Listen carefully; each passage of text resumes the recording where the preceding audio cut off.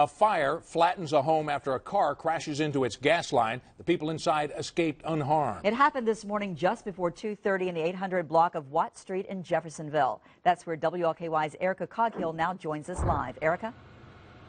Vicki, this used to be the front of that home. I'm standing on Watt Street right now. Fire officials tell us that that car actually hit the back of the home on uh, 9th Street along the side of the home there. And that's where the fire ignited. Three people lived inside where a duplex used to stand here, a couple on one side and a man on the other. He wasn't home at the time of that uh, house fire, but the couple was, and they were able to get out safely with their two dogs. I ain't never seen nothing like it in my life. Looked like a looked like a oil well explosion. An explosion that spared nothing except Edward Heston and his girlfriend's lives. They were able to escape the flames before their home turned to rubble. It take five minutes, honey. The place is burnt down in 15. Natural gas was the driving force that fueled the flames after fire officials say someone drove a car right into a gas meter at the back of the home where the fire started. Heston and his girlfriend had fallen asleep watching TV near the front of the home when the commotion woke them up. I just heard the brake squeal and something go boom, and I looked out the front door and I seen the fire back there real little, and then all of a sudden, it hit a big ball of gas going. It was just burning natural gas. See? We, we found the car abandoned. I don't have any other information than that at this time.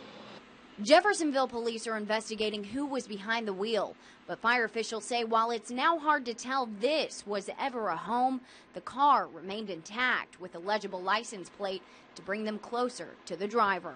I hope they don't get in no trouble, you know. This might been some young kids out fooling around.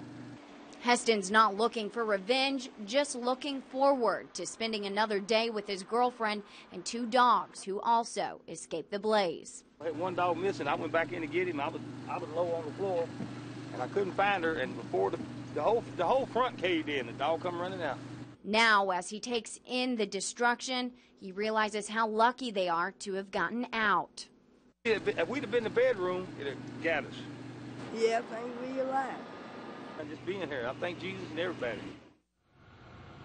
And one of Heston's dogs is recovering at the vet today, but it's expected to be okay. And as far as the driver of that car that ignited the fire, police, I've put in several calls to them.